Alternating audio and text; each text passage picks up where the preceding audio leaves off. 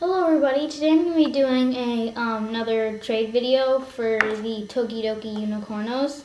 And um, I just opened one and I got um, Metallo.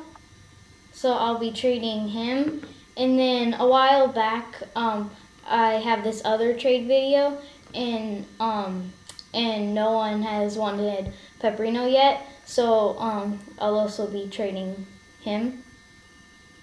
And so the ones that I'm looking for, I'm looking for Bellina and Dolce. So those are the two that um, I would like. So um, if you would, if you want one of these or both of them, just uh, comment below. Um, thanks for watching and bye.